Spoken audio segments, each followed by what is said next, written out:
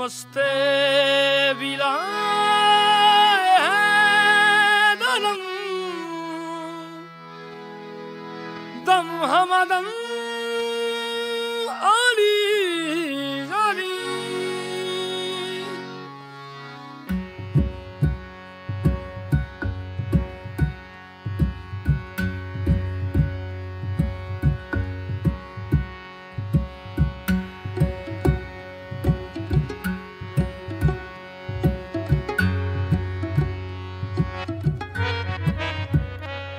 ਸਾਡਾ ਪੀਰ ਕਲੰਦਰ ਨਾਲ ਸਖੀ। ਸਖੀ ਸਖੀ। ਸਾਡਾ ਪੀਰ ਕਲੰਦਰ ਨਾਲ ਸਖੀ। ਸਖੀ ਸਾਡਾ ਵੀਰ ਕਲੰਦਰ ਨਾਲ ਸਖੀ। ਜਿਹਦੇ ਦਰ ਤੇ ਹੈ ਨਾ ਕੋਈ ਕਮੀ। ਸਾਡਾ ਵੀਰ ਕਲੰਦਰ ਨਾਲ ਸਖੀ। ਜਿਹਦੇ ਦਰ ਤੇ ਹੈ ਨਾ ਕੋਈ ਕਮੀ। ਸਾਨੂੰ ਰਹਿੰਦਾ ਸਾਨੂੰ ਰਹਿੰਦਾ ਨਾ ਹੈ ਕੋਈ ਗਮ।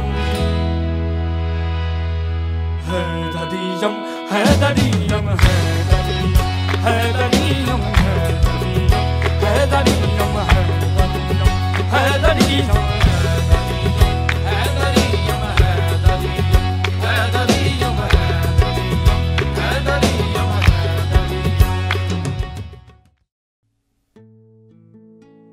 नाम मारो मणि गोठ मारो कारितर जात मारी मेघवाड़ पंखन जो धंधो करो અરડા સાલનું મારે બાપ મારી શાદી કરી શાદી કા પાસે ઇથે આવી બંને કરતા બંને દુકાળ પડ્યો સફર ગુજર ન થેતો ના પૂરે પડ્યા તે કીડ અમે હિંડોણે અગઠો થાતા પછી મારો ધણી વિકરો કરતો ઉએ મમોને ફાયદો મિલ્યો टे महीना धंधो करियो टे महीनो में चार हज़ार रुपया बचत કર્યા उहे बचत में एक ચોરો ઠરાયો મારી ભેણ આવી ભેણ આવી ભેણ કે કે હિંડોણીઓ રો અને અગઠો રો ધંધો ઢલો કરો કે એમ સફર ગુજર સુઠો નથી થતો કે તમે એ પર લ્યો પરમ પખા ઠાવ પખોમ તમને ફાયદો જડશે કે પછી અમે પખા ઠાયા થરદીપરો એક હમણાં આવ્યો તો ઉગે મને વાત કરી કે તમે ફાર્મ ભરાવો થરદીપમાં તો તમે પૈસો ખણો તો ઉગે મેં તમે અગતે વધશો કે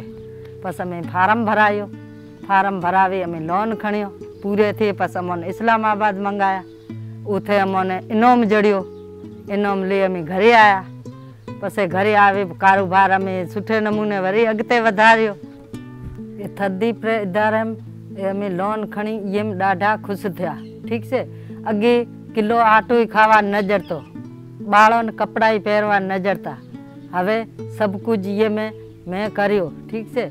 છોકરો મારો વડો ભણાયો ને ડ્યુટી સરકારી લીધીની હમણે ડ્યુટીમાં છે બે મેં દીકરે પરણાયે वो દીકરીઓને કારોબાર ખુલાયા મને ઇસ્લામાબાદ તેડાવી તો ॾाढी હું ખુશ થઈ ઠીક છે મને ઉથે ॾाढो प्यार ॾिनो ॾाढा મને इनाम जड़ियो उहे इनाम में हूँ ॾाढी ख़ुशि થઈ ॾाढा शुक्रिया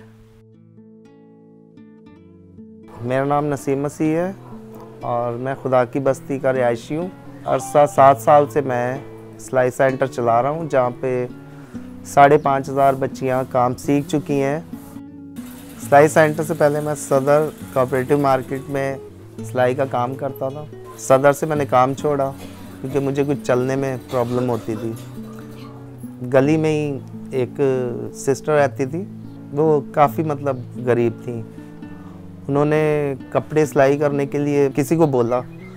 तो उस बंदे ने, उस टेलर ने बोला कि मुझे पहले पाँच सौ रुपये दें, फिर मैं आपको कपड़े सिलाई करके दूँगा।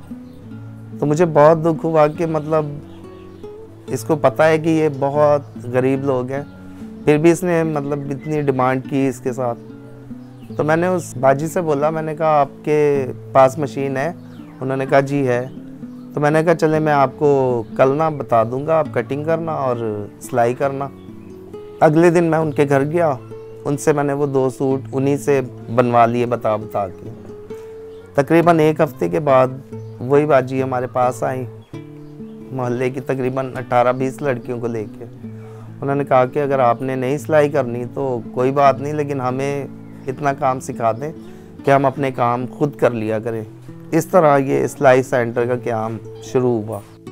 हमारी यहाँ पे एक सिस्टर थी, उन्होंने मुझे मशवरा दिया कि the first micro finance bank से आप लोन ले सकते हैं। और वो ग्रुप में लोन देते हैं। फ़र्स्ट टाइम फिर मैंने वहाँ से लोन लिया।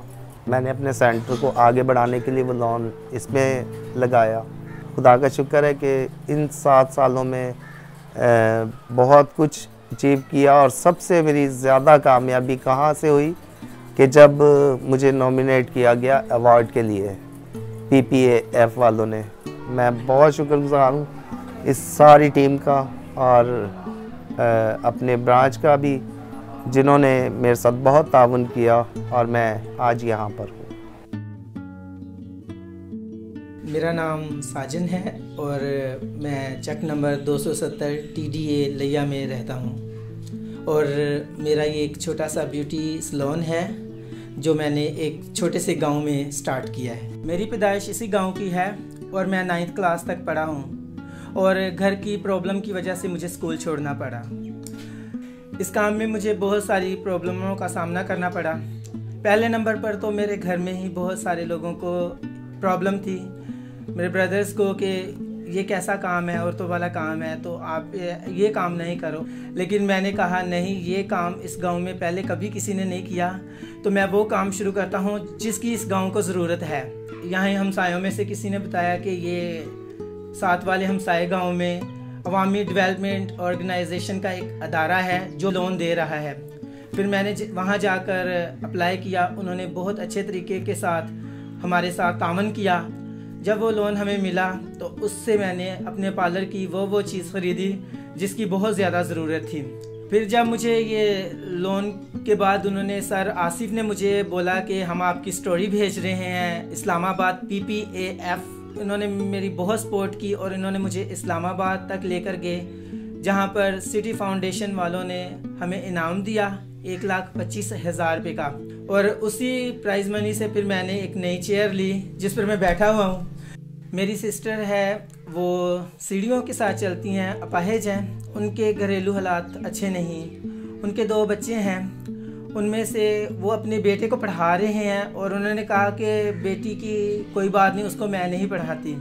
लेकिन मैंने उनसे बोला कि बेटे और बेटी में कोई फ़र्क नहीं। और उनका पूरे का पूरा ज़िम्मेदारी, पढ़ाई की, खर्चे की वो मैंने खुद उठाई है कि अगर आपका एक काम की तरफ़ तवज्जो है, अगर आप एक काम करना चाह रहे हो तो उसको करो, लोगों की परवाह नहीं करो। यही जो लोग बातें करते हैं, यही कल को आपको ये बोलेंगे कि आप दूसरों के लिए मिसाल हो।